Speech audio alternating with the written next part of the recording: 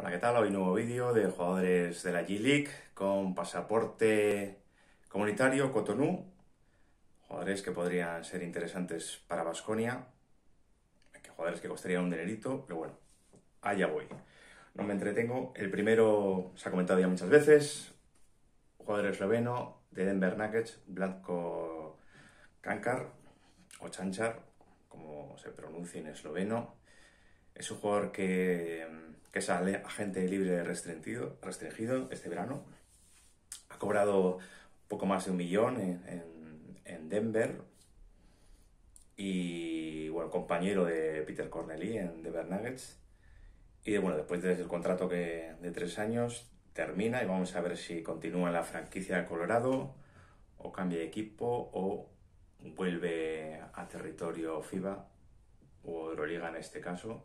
Recordar que este jugador en los Juegos Olímpicos de Tokio el año pasado hizo 14.5 rebotes en 28 minutos, fue uno de los pilares de la selección eslovena.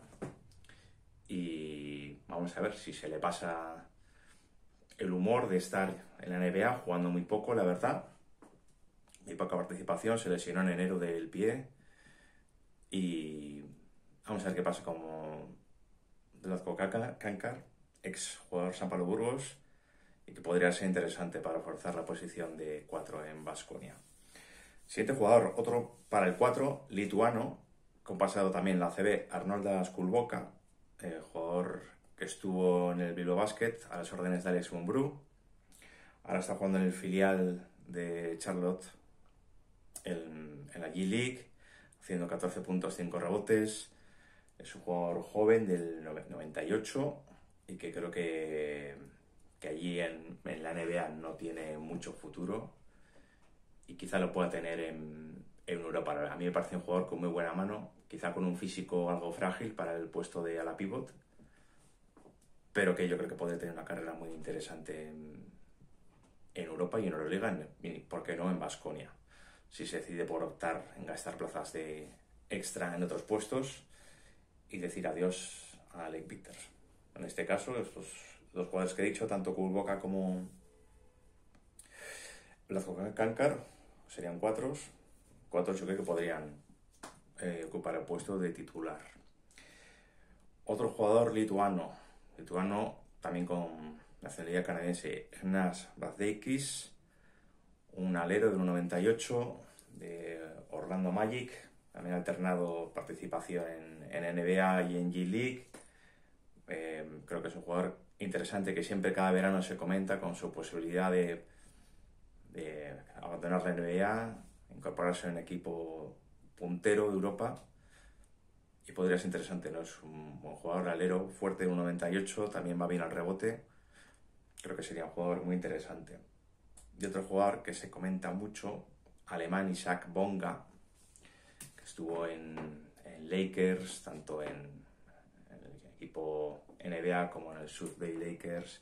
En Washington ya ha acabado temporada en, en Toronto Raptors y en el filial, que es un jugador muy versátil, muy polivalente, es un 2-0-3 que bueno, que puede subir la bola, que puede, puede, ir al rebote, es muy atlético, muy rápido, no sé, creo que tiene la cabeza un poco dispersa pero que bueno, que, que puede hacer bien. En los Juegos Olímpicos de Tokio hizo 8.5 rebotes y eso creo que es un jugador que puede hacer adaptarse a muchas posiciones en la cancha y todavía es joven, creo que es del 99, que es un jugador que puede ser interesante para incorporarlo al Vasconia.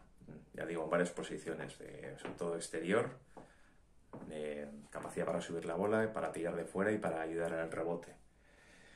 Otro jugador interesante, eh, interior y nigeriano, nacido en, en, Lagos. Hablo de Charles Basie, un jugador de 206 que ha jugado en Delaware, en, la G-League, que ha sido elegido en el segundo mejor quinteto de la recién concluida G-League.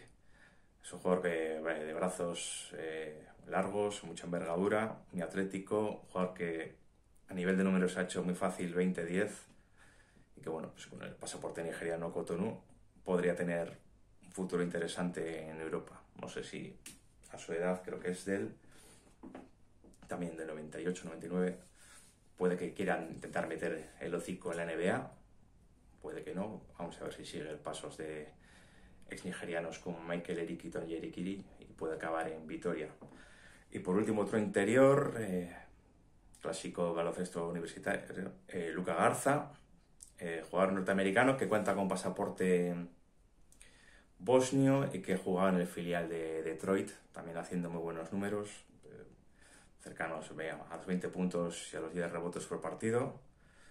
En este caso, eso es el pasaporte comunitario, eso lo hace, lo hace muy interesante para un pivot también joven, de 2'10 y, bueno, la configuración de Vasconia ahora mismo con Steven Enoch, quizá y con Gianni Betzel, quizá mucho jugador joven en la zona, pero vamos a ver cómo queda al final la plantilla de Vasconia, puede que haga falta más jóvenes, más veteranos.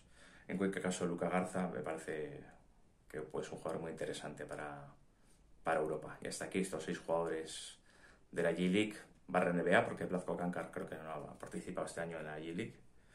Vamos a ver si alguno viene a Basconia o no. Hasta luego.